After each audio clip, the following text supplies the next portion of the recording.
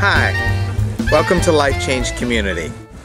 Have you ever desired to have the mercy of God in your life? God, just show your mercy upon me. Be merciful to me because I make so many mistakes. Have you ever felt that way? The Bible tells us that there are two ways to get mercy. One is to be merciful to others. Jesus promises in the New Testament, Blessed are the merciful because they'll receive mercy. But there's this second promise from the Bible that also tells us about God's mercy. Listen to this promise found in the book of Proverbs.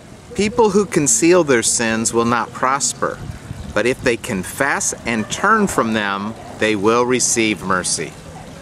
Confessing sin can be hard. Taking responsibility for our behavior can be a challenge. But when we do it, things begin to change in our life. And the Bible says the mercy of God becomes ours.